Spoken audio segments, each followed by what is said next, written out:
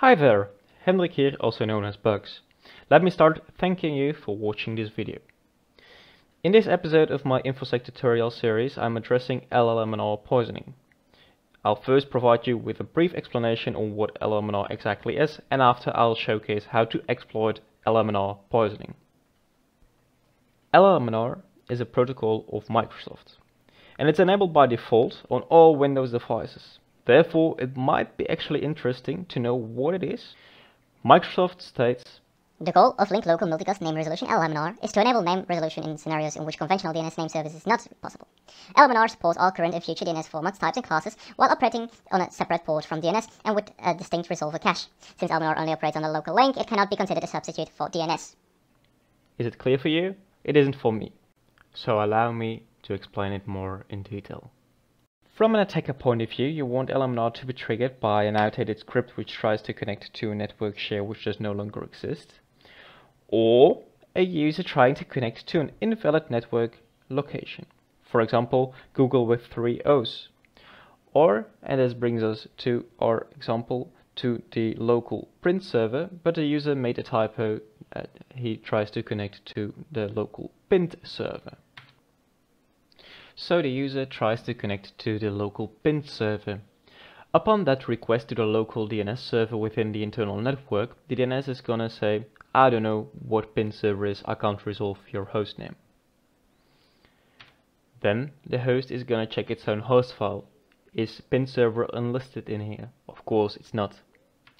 Finally, it will send out a LLMNR broadcast request requesting to the internal network is anybody in here pin server?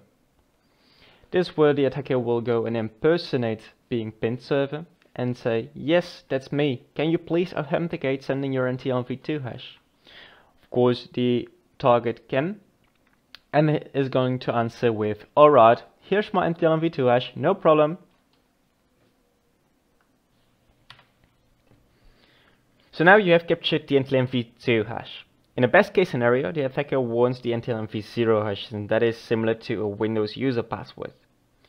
Therefore, we try to relay the NTLMv2 hash to a system where our compromised user is the local administrator. Since local admins can dump the SAMP database, we can obtain NTLMv0 hash from our compromised domain user. Now you might be thinking, my compromised user is not a local administrator on any of the systems, so I can't dump the SAM database. Well then you have two options. I'll name them enumeration um, cracking isn't really enumeration, but you can, it is possible to crack an NTLMv2 hash. It will take a lot of time and a lot of resources, but it is possible.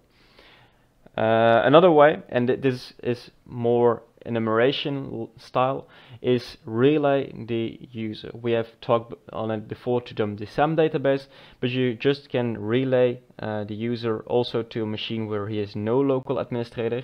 And what you can do then is, for example, read the SMB file share or something like it and gather some information which fits the bigger picture and obtain a completer uh, picture of your victim.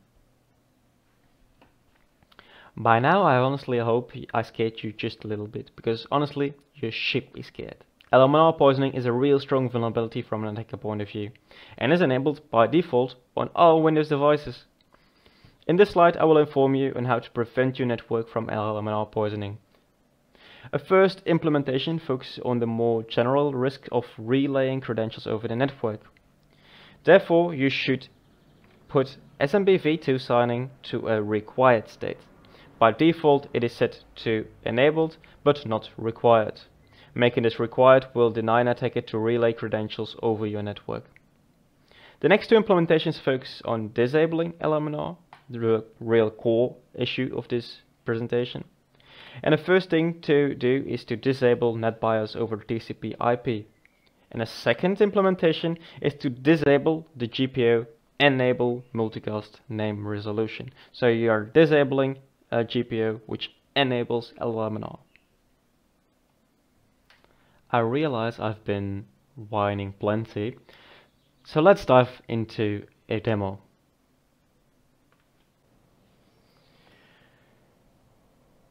Now, before we get our hands dirty, it is important to understand what the actual network topology looks like. I have set up a homelab.local Active Directory, um, group policy EOU, and two departments, IT and X. Department IT has a, uh, server, Windows 2011 server, and has a user John Doe admin. Department X has a computer Windows 10 client and that is actually the home computer of the user John Doe. Uh, there are two other users as well, Jan Janssen and Max Mustermann. Now as you might have noticed there are two John Does. Uh, John Doe is a system administrator uh, but he has a normal account and a normal account he should use for all uh, normal use um, and the admin account is only to uh, modify things on the server so he can do as little as possible wrong however John he's a little bit lazy so since he doesn't really like to switch accounts uh, and he should have to remember different passwords. John only uses or mostly uses his administrator account also on the computer Windows 10 client. Now um, since John Administrator is also a local administrator at Windows Server 2011, uh, we are able to uh, capture and show you the example of uh, how he gets compromised using the SMB relay attack as well. So let's fire up our Kali Linux. We will first launch uh, NTLM relay uh, in packets NTLM uh, I made a typo and packets NTLM relay X. We specify the target we are about to relay our credentials towards. That's the Windows 2011 server where John is a local administrator. Uh, we can also specify multiple targets using dash tf target file. Um, if you don't know where he is a local administrator, which will be the case if you're doing an internal pen test, I really uh, recommend doing this as one of the first things when you do a uh, internal pen tests. Uh, just allow this to run and see what you capture. Uh, we first set up NTLM Relay X and then we do uh, set up Responder. Uh, why we do it in this way is because Responder blocks ports that NTLM Relay X should be using. So you can modify it as well as I did in the config file, deny or the, the server creation of a HTTP, HTTPS and a Samba file share. Um, I've done so, so it doesn't really matter for me anymore, but it might matter for you. Um, so be cautious on that one, RDWV. Uh, this is what the responder command actually looks like and why we specify ETH1 is because it's the uh, interface we want to uh, listen on. So let's do it like this one and we're listening for events. Now let's move on to our pin server, uh, our um, Windows 10 client, and we will try to connect to pin server over print server. It is all already uh, entered because I had to record this video twice. I recorded this video the first time without uh, voiceover, so had to re-record it. Um, doing the request, we'll see what happens. Can't really be surprised since I actually know it already. But we see a pop-up coming. The ser specified service cannot, server cannot perform the request operation. Okay, let's now look at our Kali. And we see that there are three uh, requests to pin server. Why is this one? Because uh, the service we just ran uh, couldn't connect and tries to do it over again and um, something like that. So we, we see three times uh, LMNR poisoning uh, request being sent over to, to uh, the host. And what Responder does, it just sends over the NTLM v2, which it captures over to the in-packet NTLM relay. So it sends it over to the 10002. We see our connection coming in from our Windows 10 client, attacking the Windows server. Attacking the Windows server as John Doe admin, of course. And we see it succeeds.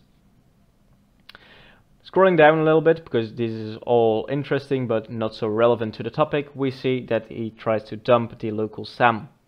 And over here, we actually have the administrator NTLM v0 hash. You can pass this part of the hash over with for example, crackmap exec or evil WinRAM, and you can successfully log on since this is actually quite equal to a Windows password. Congrats! Now let's move on to the Wireshark file. I've captured it in the previous uh, request, excuse me.